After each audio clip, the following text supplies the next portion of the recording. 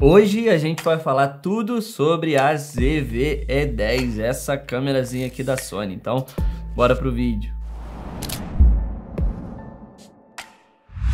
Fala galera, tudo bem com vocês? Vitor Troiac aqui. E, galera, nesse vídeo eu quero fazer um vídeo bem curto, bem simples, falando tudo o que eu já aprendi dessa câmera aqui, a Sony ZV-E10. E antes da gente começar a falar da ZV-10, galera, eu queria pedir para vocês se inscreverem aqui no canal para a gente bater 2K até o final do ano. Então se inscreve aqui, deixa um like aí para me ajudar bastante, beleza? Que aqui eu vou fazer vários conteúdos sobre audiovisual, sobre minhas viagens e também sobre o estilo de vida. Galera, essa câmerazinha aqui que eu peguei agora recentemente tá me surpreendendo bastante aí. E nesse vídeo eu quero falar com vocês os prós e os contras que eu já vi sobre essa câmera aqui, já fazendo alguns testes, já olhando alguns reviews. Então Nesse vídeo eu quero falar tudo que eu já vi sobre ela, né? Algumas coisas que a gente pode conversar aqui também, mas enfim. Vamos começar falando da qualidade dela. Ela tem o 4K, 24 e 30 frames por segundo, que é pô, muito bom. Testei aqui também o Full HD dela 120 FPS, que eu tô achando maravilhoso poder fazer esse slow motion em 120 FPS em Full HD. Tá me agradando muito essa qualidade. Realmente é uma qualidade muito sensacional para vídeo, galera. E para alguns trabalhos isso aí tá fazendo muita diferença para mim.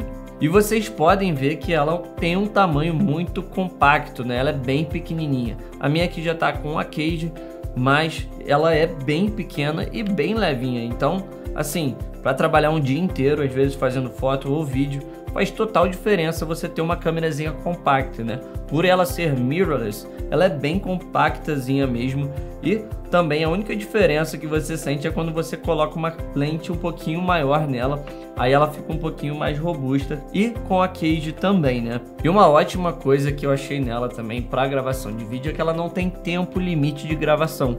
Então você pode deixá-la ali rodando direto. O único problema talvez que você pode ter é a bateria acabar e também você ter o overheating dela, né? Ela aquecer demais. Mas isso ainda não aconteceu comigo. Eu já fiz o teste, deixei ela gravando em 4K até a bateria acabar e ela não superaqueceu. Então, ponto positivo aí para ela. Mais uma das coisas que eu gostei bastante é esse botão de REC. Esse botão aqui em cima, né, ele ser separado do botão da foto e também ser um botão grande. Então fica muito mais fácil às vezes você tá na correria, tá no tá em cima do gimbal, tá em cima do tripé e você não precisa ficar caçando aquele botãozinho que antes eu tinha aí na minha Canon, um botão muito pequeno para gravar. E quando você coloca para gravar, ela fica com a tela vermelha, né? Então você consegue ver de longe que ela está gravando. Isso é um ponto muito positivo que eu gostei bastante nela. E falando da tela também, ela tem a tela flip screen, né? Então você consegue fazer um vlog, você consegue gravar diretamente para o YouTube, alguma coisa assim, e também se enxergar, né? Isso faz total diferença. É uma tela não muito grande, nem muito pequena, então é, você consegue se ver mesmo fazendo um vlog, alguma coisa assim diretamente. Isso ajuda muito nessa né, telinha que gira. Eu vou colocar um clipe aí agora para vocês verem eu fazendo o teste do foco automático. Eu estava utilizando essa Viltrox aqui 56mm 1.4 e eu botei em ponto .4 simplesmente para ver a velocidade de foco dela vindo para frente, para trás, testando em 4K para ver se ela tem uma velocidade boa e eu achei a velocidade muito boa de foco, né? Vocês podem reparar aí nesse vídeo que eu tô indo para trás e para frente e ela pega o foco muito rápido. E vamos falar agora de ISO. Eu achei o ISO dela muito bom também. É um ISO, né? A gente sabe que não dá para ir muito acima por ser um sensor muito crop. Ela vai ter um pouco de dificuldade em low light, mas é um ISO que você pode utilizar até 6400 aí e provavelmente não ter quase nenhum ruído então, para low light ela é boa, mas não é como uma full frame, logicamente. Ela vai ter um pouquinho mais de dificuldade de trabalhar em low light. Mas é um ISO já bem aceitável. É, claro, é, se você utilizar a iluminação natural, você pode subir um pouquinho esse ISO, vai trazer um pouquinho de ruído, mas não é nada também que vai estragar a sua gravação. Então, ponto positivo aí. Um dos pontos positivos que eu testei também é o Steady Shot né? Ela tem uma estabilização interna, mas que não é feita pelo sensor, e sim por software. Então ela tem um cropzinho para ela poder estabilizar, estabilizar ali internamente a sua imagem. E isso é uma coisa muito boa para quando você está utilizando lente com distância focal muito grande. Ou seja, se você estiver tirando fotos com 70mm ou gravando um vídeo com 70mm até 300mm, por exemplo, você vai conseguir fazer uma imagem sem que fique tão tremida. Então isso é muito bom, só que ela tem esse fator crop também. Uma outra coisinha dos pontos positivos dela, só que para mim eu não achei assim lá grandes coisas, mas eu achei interessante é esse botãozinho aqui, ó, que tem esse C1 e para que, que ele serve, né? Esse botãozinho aqui, galera, quando você tá com a lente do kit, você aperta ele e ele vai trocar a abertura para paisagem ou para retrato, ou seja, ele vai colocar aquele desfoque naturalmente. Só que você consegue fazer isso muito rápido só apertando esse botãozinho aqui. Caso você queira fazer aquele desfoque natural de fundo só apertando esse botão, né, fazendo um vlog, por exemplo, você aperta ele ali, ele vai abrir a abertura da lente e vai colocar aquele desfoquezinho lá bonito atrás de você. E agora, galera, é claro que essa câmera ela não é perfeita. Vamos falar um pouquinho sobre os contras dela, sobre as coisas que eu achei que são coisas né, não relativamente ruins, mas que também não são perfeitas e que acabam atrapalhando algumas coisas é, na nossa vida e enfim. Vamos falar um pouquinho sobre os contras. Já de cara, quando eu peguei ela, é lógico que eu não estava acostumado com o menu de Sony. É, eu estava mais acostumado com o menu da minha Canon. Porém, eu achei um menu assim muito mais complexo do que o menu que eu utilizava antes. E um menu também é difícil de você escolher as funções que você quer. Eu reparei que quando eu estou gravando, em, por exemplo, em 4K e eu quero passar para Full HD, eu tenho que ir no menu, abrir a função de 4K, mudar para Full HD, escolher é, a quantidade de FPS, isso de uma maneira muito mais complexa. Né? Podia ter uma maneira muito mais rápida da gente fazendo isso, da gente fazer isso apenas apertando algum botão, trocando alguma função né, como um favorito. Porém, eu achei esse menu um pouquinho complicado. Lógico que não tem aquele problema é, no final, né, na qualidade final do, do seu trabalho ou do seu vídeo. Porém, uma coisa que a gente sabe que tempo é muito importante. Então acabou que eu perco algum, um tempinho ali para ficar trocando essas funções na hora de um job, na hora de gravar aqui para vocês ou criar conteúdo, enfim.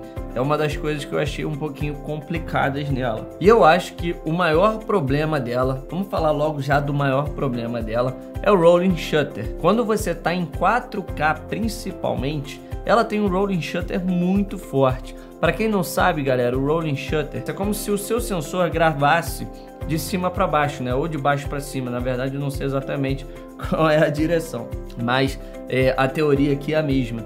Então, o que acontece? Quando você grava de baixo para cima, né, o sensor, e você faz esse movimento de pan, a gravação fica um pouquinho torta. É como se ficasse uma gravação torta. E acaba que no 4K esse rolling shutter ele é bem presente. Então você consegue perceber aí nesse clipe, quando eu passo a câmera de um lado para o outro, você consegue perceber que dá uns wobblezinhos, né? Parece que, é, que, que tá uma distorção muito forte. Então, caso você vá fazer uma gravação, por exemplo, de esporte ou de carros, coisas assim que você precisa girar a sua câmera, fazer movimentos bruscos com ela, isso acaba podendo atrapalhar bastante. Só que tem várias maneiras da gente poder amenizar esse, esse problema dela. Você passando para Full HD, eu reparei que diminui bastante. Então você e você pode usar também um filtro polarizador, porque aí assim você diminui a velocidade do seu obturador e acaba diminuindo também esse rolling shutter.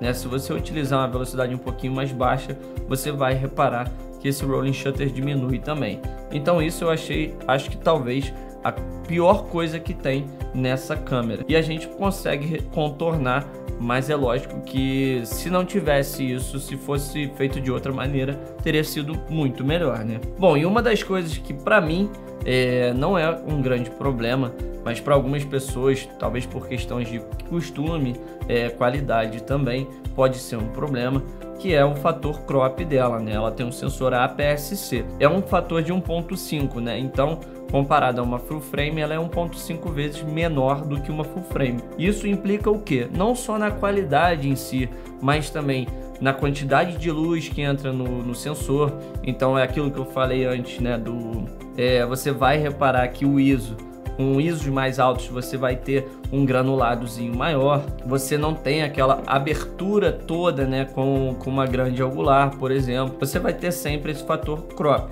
o que para mim não é tão problemático assim, eu não vejo tão problema de ter um sensor crop, né? As minhas lentes são todas cropadas, mas para mim isso só ajuda no nosso bolso também, porque toda toda câmera cropada, toda lente cropada é um pouquinho mais barato. Se você souber utilizar esse crop a seu favor, também pode ser uma coisa boa, né? Mas eu coloco aqui como contra porque é, eu acho que câmeras full frames têm muito mais vantagem. Também são câmeras mais caras, mas também tem muito mais vantagens. E uma outra coisa que a gente pode falar aqui, ela veio com um microfone interno, ela veio também com esse dead cat aqui em cima para amenizar um pouquinho a questão do vento, só que eu não achei um microfone tão qualidade assim. Eu vou colocar o áudio aqui para vocês perceberem agora como que fica esse áudio gravado de direto da câmera aqui e vocês vão reparar que o áudio agora, escutando diretamente aqui da câmera, não é um áudio tão bom quanto o microfone direcional que eu estou usando aqui, esse microfone da Rode. Mas assim, caso seja a última é, a última coisa que você possa utilizar, se você não tiver um microfone, ele vai servir, mas também ele não é aquela qualidade toda e nem é tão horrível assim. Mas eu consideraria que caso você queira utilizar essa câmera, que você utilize com um microfone externo. E falando aqui da última coisa que eu achei dela que não me agradou muito, que realmente poderia ser um pouquinho melhor, é a questão da bateria. Eu reparei que essa bateria dela não dura muito tempo. Se você estiver utilizando ela aí direto em gravações, ela não vai durar muito que uma hora. Para mim isso é bem pouco. Então você vai precisar de baterias extras, ou você pode utilizar uma dummy battery, ou então também é, você pode carregar ela utilizando um power bank. E eu achei mais fácil comprar baterias extras. A dummy battery seria ótimo aqui no estúdio para uma gravação, para um podcast, que aí você consegue utilizá-la direto da tomada. Por sorte, essa minha outra Sony aqui também é a mesma bateria. Essa daqui, ó, essa bate... olha o tamanhozinho dessa bateria, galera. Essa daqui é a NP-FW50. É uma bateria bem pequena, mas eu tive a sorte de ser a mesma bateria, então eu tenho aqui agora, vão chegar mais três, eu vou ter cinco baterias extras, o que para um job vai servir com certeza uma gravação aí de dia inteiro, eu ficar tranquilo. Bom, então é isso, galera. Eu espero que vocês tenham gostado aí desse vídeo. Eu ainda tenho algumas coisas para falar dela especificamente, principalmente os perfis de imagem, né? Que você tem Cine 1, Cine 2, S-Log 2, S-Log 3, enfim, são perfis de imagens para você fazer gravações de vídeo. E algumas pessoas ainda não entendem como utilizar eles, para que que eles servem, e eu quero fazer um vídeo só falando de perfis de imagem e para que que você deve utilizar eles, porque eu acho que aí a gente consegue ter uma conversa muito mais profunda sobre isso. E aí você vai saber utilizar em quais momentos e qual perfil de imagem utilizar também. Bom, então é isso, galera. Eu espero que vocês tenham gostado aí desse vídeo. E aquilo, se inscreve aqui no canal, que até o final do ano a gente vai bater 2k aí com certeza. Então é isso, galera. Deixa o seu like aí também. E tamo junto. Muito obrigado aí. Valeu. Até a próxima.